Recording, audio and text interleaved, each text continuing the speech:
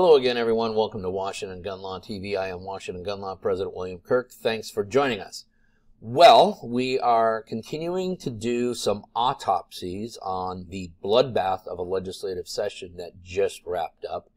And in taking a look at House Bill 1630, it appears that there are several new restrictions coming your way to the lawful and responsible gun owner. So today we're going to spend a few minutes talking about all the places you can no longer carry a firearm thanks to House Bill 1630.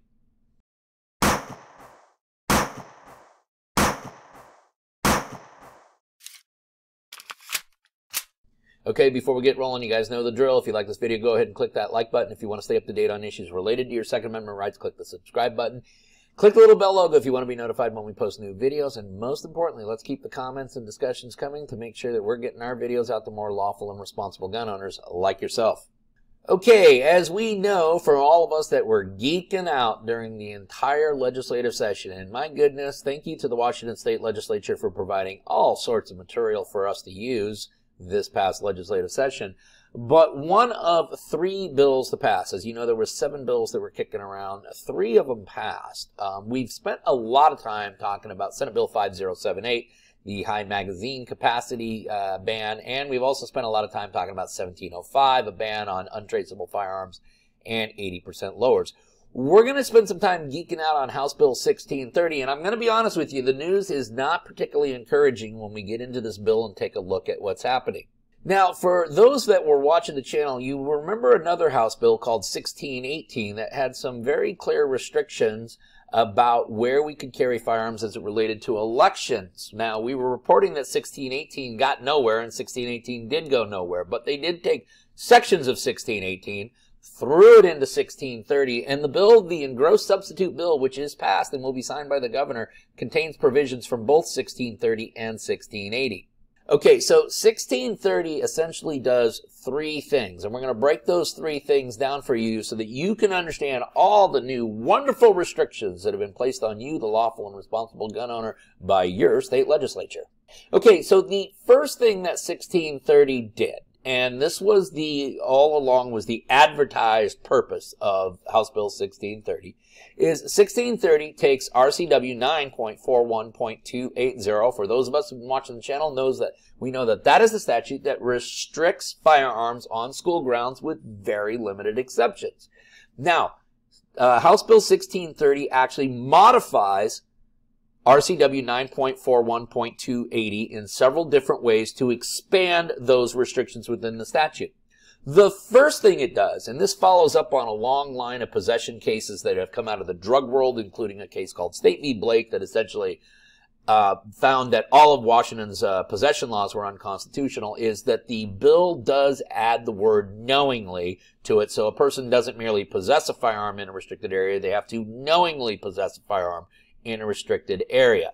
Now, the big crux, the big crux of this first part of 1630 is that in addition to the school facilities where we can no longer carry firearms, um, this, this section of 1630 also restricts firearms in any areas, facilities being used for school meetings. As a matter of fact, once enacted into law, RCW 9.41.280 subsection 1 will specifically read, it is unlawful for a person to knowingly carry onto or possess on public or private elementary or secondary school premises, school provided transportation, areas of facilities while being used exclusively by public or private schools, or areas of facilities while being used for the official meetings of a school district board of directors. And then it goes on to list all of the things, including firearms. So what essentially the statute is doing is it's taking the restrictions found in 280 and expanding it not just to where the kids are learning, but where the school district is conducting its business and where they're holding public meetings.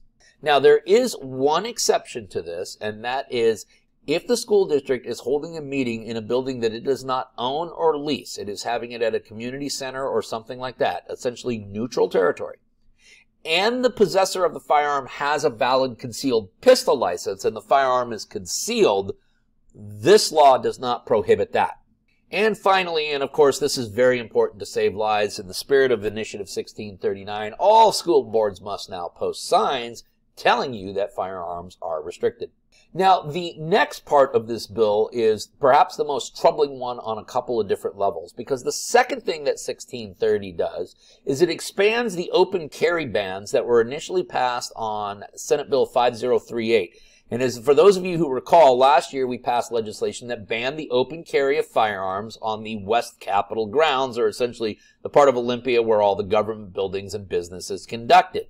Now, to follow up along that, uh, House Bill 1630 now bans possession of firearms at municipal, county, and city buildings. So with the passage of 1630, RCW 9.41.305, which currently bans open carry on the Capitol grounds, will now have a new section amended to it so the statute will read, Unless exempt under subsection 3 of this section, it is unlawful for any person to knowingly open carry a firearm or other weapon as defined in 941-300 while knowingly being in the following locations. And subsection A, of course, was the West Capitol grounds.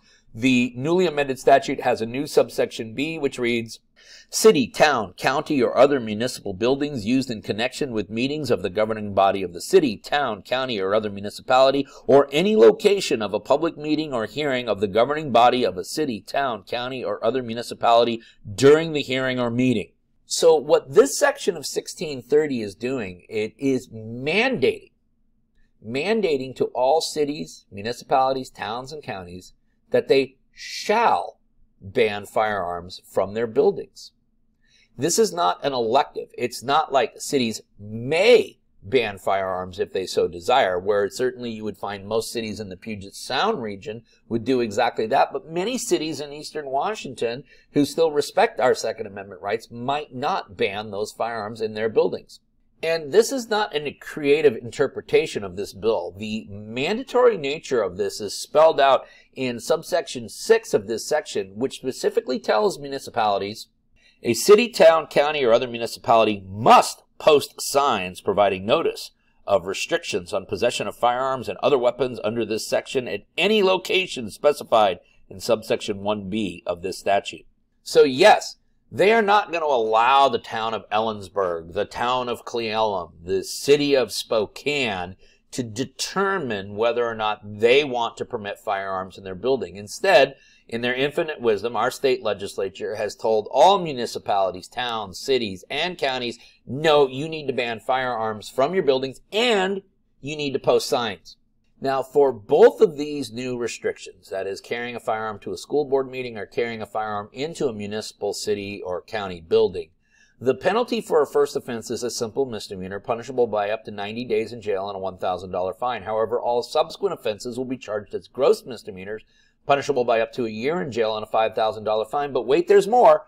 Because if you are found in violation of either of these two sections I previously mentioned, you will lose your concealed pistol license for a period of three years.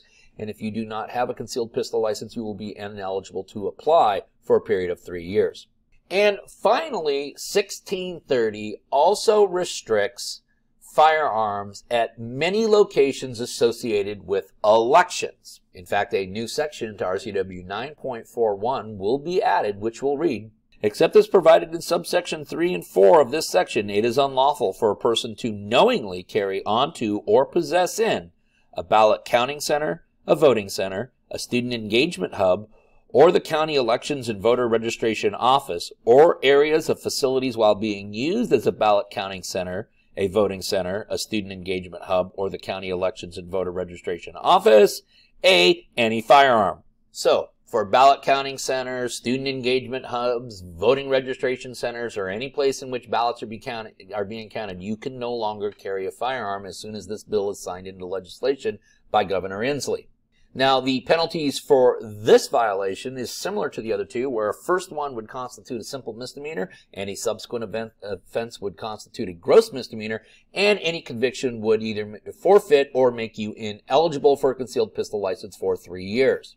There is one exception to this statute, and that, that is a person could conceal carry a firearm to any one of these locations with the exception of a place in which ballots are actually being counted. There is an absolute prohibition against firearms concealed or otherwise at any place that is counting ballots. So there you have it. That's House Bill 1630, which is sitting on Governor Inslee's desk ready to be signed. When passed into legislation, it will restrict the carrying of firearms to school board meetings. It will restrict the carrying of firearms to most county, city, and municipal buildings.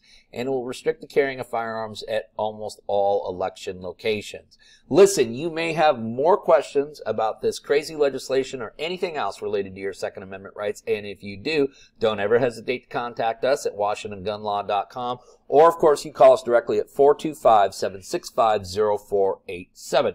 Now, let's remember, part of being the lawful and responsible gun owner, like we talk about all the time here at Washington Gun Law, is to know what the law is in every situation and how it applies to you in any instance that you may find yourself. Until next time, thanks for watching. Stay safe.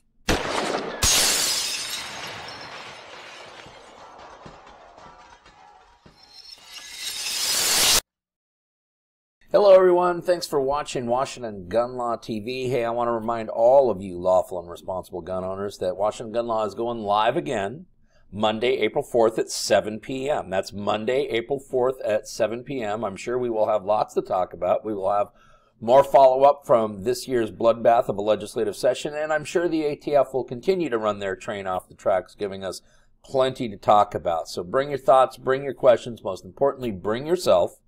Monday, April 4th, 7 p.m. right here on YouTube. We'll see you then. In the meantime, stay safe.